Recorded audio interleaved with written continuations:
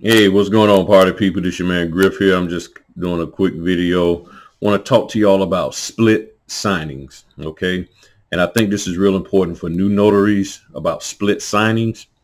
When you're doing a split signing, it is you, one person or one notary, working with a, with two people to get the document signed. So they're working with Earl Jones in a different location than where you're at could be a different part of the city, could be a different part of the state, doesn't matter. But they're working with Earl. He gets his doc, the doc, get the documents, take it to him.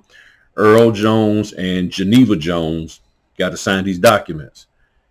Earl Jones signs his, then Geneva do hers later.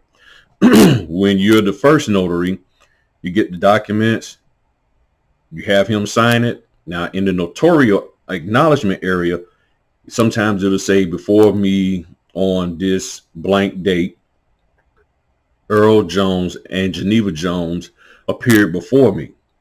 If they have both their names in there, just line out hers an initial. some people say, some companies will tell you don't initial. Some will say it's okay to initial. The best thing to do is just double check with them whether or not they want you to initial, but typically you initial, okay? So you just line her name out of the acknowledgement.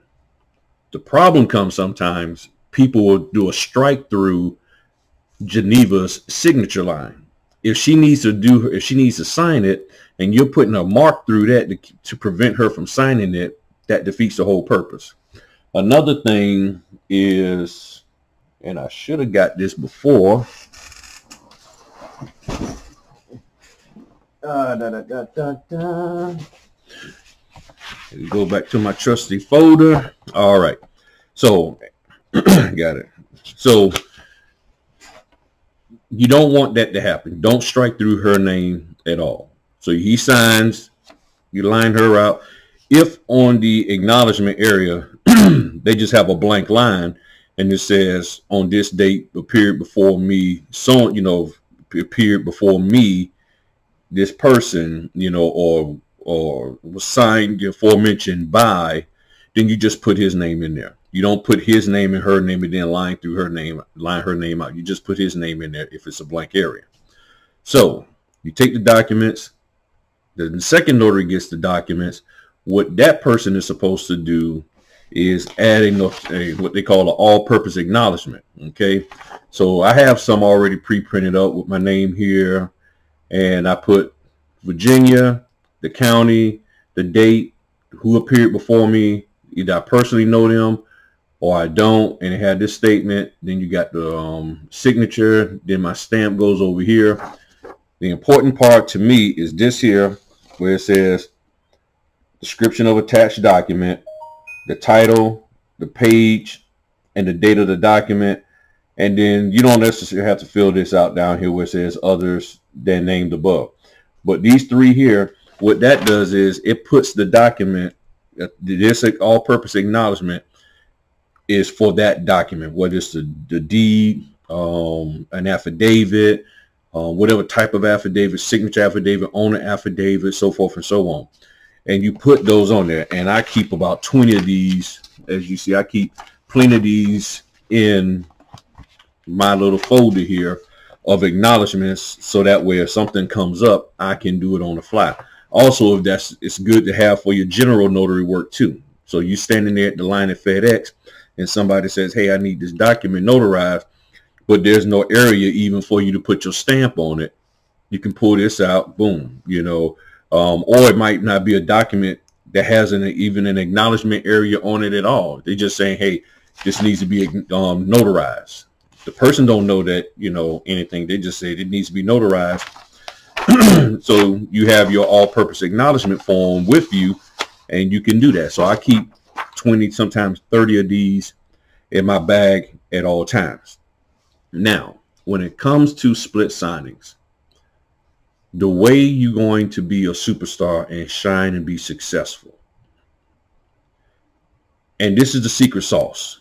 You do this, I promise you, you will be successful with notary okay? And especially when it comes to split signings. The secret sauce is this. You as the first notary who are doing the signing, You have to ship the documents out on time. That's the secret sauce. If you do not ship them out on time, what will end up happening is the documents will get to the second notary late and it will delay the whole process.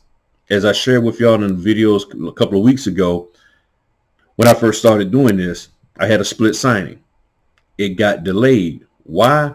Because the notary shipped the documents, but they shipped them to the wrong place. They shipped them back to the title company instead of to me. And the person told me to say, yeah, the notary, I told the notary to ship them to you and they said they would, and it didn't happen. And in this case today of this video that I'm doing on the 5th, there was a vid there was there's a signing that I'm supposed to be doing. And I don't have the documents. I'm and it's going on one o'clock. It's 1252 at the time of this video on a Saturday, December the 5th. At two o'clock, I'm supposed to be at somebody's house doing a, a signing with them. The documents were supposed to be shipped to me. Come to find out, they didn't get shipped out till Thursday. I mean, didn't get shipped out on Thursday like they were supposed to have. They got shipped out yesterday on Friday, which means if it's overnight, it's coming to you the next day. All they know right now is the documents are out for delivery. Then I'm hearing that the documents are going to the customer rather than to me. So whenever he gets them, then we have to get over there and get the document signed. None of this should have happened. And this kind of stuff can hurt, does hurt us as notaries when you have people not paying attention to detail. No matter how good you are at stamping, signing, checking names, double checking dates, dot, dot, dot. If you can't get the document shipped out on time, that messes up the whole process. So if they needed these documents back by Monday, and they don't, and the last FedEx drop, the last time for FedEx overnight to get to wherever it needs to get on Monday is 3.30 today. So I'm meeting this guy at 2 o'clock. I can get done with him in probably 45 minutes. It gives me 45 minutes to get to the FedEx and drop it off. But guess what? if he doesn't get the documents till 2.30 quarter to 3 there's no way i'm going to get i'm going to be able to get done and shipped and get them things shipped out in time to get to the title company or wherever to the law firm it's actually going to a law firm by monday which means they're not getting them till tuesday it slows everything up so that's why i said it's very important even with you as a second notary in this whole thing you have to take the time out and get the documents done correctly. I mean, um, ship them out on time. You ship them out on time, everything else will be fine. But if you don't ship them out on time, I'm telling you, it messes the whole thing up. Why they don't get shipped out on time? Either sometimes notaries can just have the attitude of, hey, I got, you know, um,